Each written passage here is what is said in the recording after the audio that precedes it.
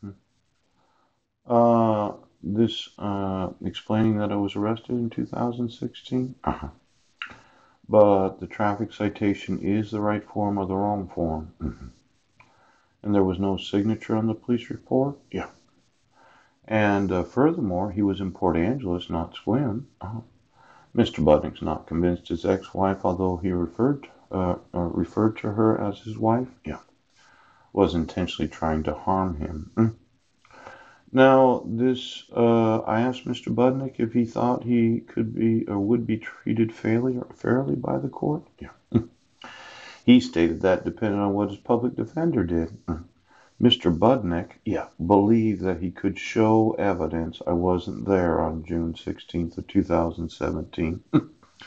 it is abusive hmm to my five sons to deprive them. Yeah. Now, um, there's the state. Yes. hmm As I remember the conversation, Phyllis, you said that this is public knowledge to every employee of the state? Yeah. And that every employee that has the right to look at my mental health evaluations, Mhm. they all have an obligation to believe what you've written. Well, uh, let's see here. Yes. At uh, 11:39 a.m. on June 16th of 2017, I made the last video, Yes. but I uploaded it first on June 16th of 2017 Yes. at 12:10 uh, p.m. Yeah. Paul Budnek. Yeah. Mm -hmm. I actually did this. I uploaded those videos on that day, mm -hmm. and I made them that day. Ouch. And I wasn't in Brinnon. Yeah.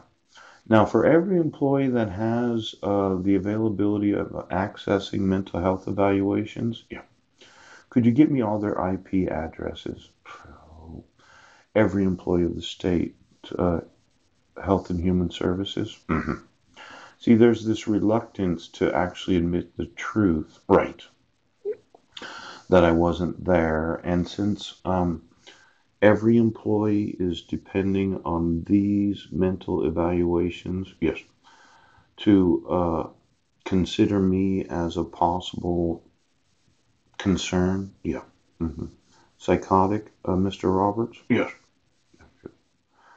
uh, psychotropic medication against my will, Jack. Yeah.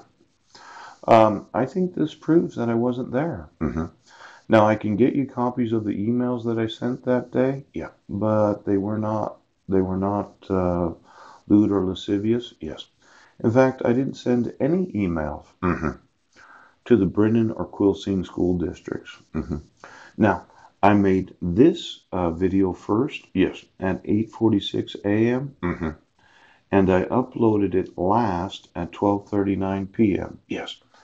Now, if you want me to get the bus schedules out, I can prove that I wasn't in Brinnon, Washington. Now, everyone that knows that they have the right to access what are known as mental evaluations, Yes. Yes. Yes. see, the defendant's competency to stand trial was evaluated against Washington State's version of the Dusky standard, Mm. namely whether, as a result of a mental disease or defect, Yes. The defendant lacks the capacity to understand the nature of the legal proceedings against him or her or to assist in his or her own defense. Yes. Now, it would have been nice if Jefferson County would have believed me, but they wouldn't. Mm-mm. See, my own public defender said, Well, you're having a 1077. I'm like, Well, I wasn't there. I'm not guilty. I didn't uh, commit any domestic violence and I didn't send any cyber stalking emails. Now, um, it is abusive to my five sons Yes. to deprive them of the evidence Yep. that their father did not commit any violating of the restraint provisions of the protection order. And I didn't email any co-workers of the Brinnon School District Yes. Anything abusive, lewd, lascivious, or any other evaluation of what is known as cyber stalking. Yes. That I, as the defendant, did not in Jefferson County, Washington, on June 16th of 2017 or earlier, did not with any intent to harass, intimidate, torment, or embarrass any other person, Yeah. And under under no circumstances did it ever constitute telephone harassment. Yeah. I didn't make any electronic communications to such person or third party. Yes. Now, this third party that uh, the prosecuting attorney said, yes. Mm-hmm. Well, I actually have an email from a third party coworker, yes, mm-hmm.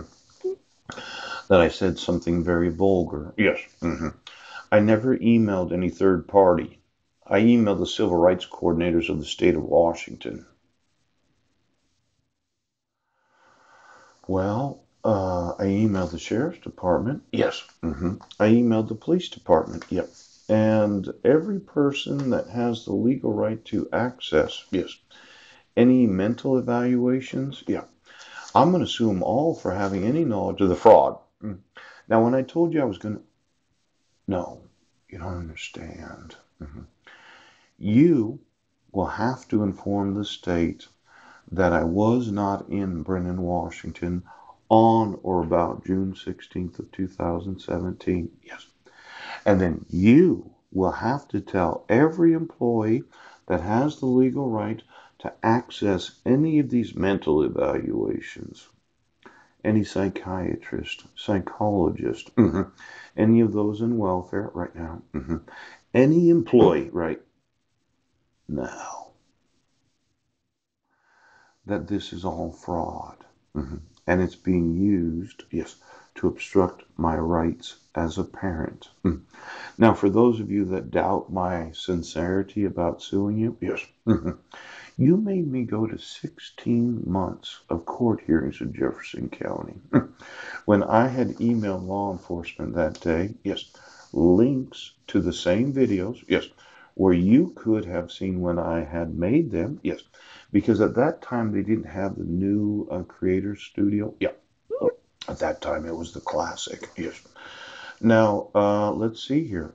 It says here an email sent by Mr. Budnek on Friday, June 16th of 2017. Yes.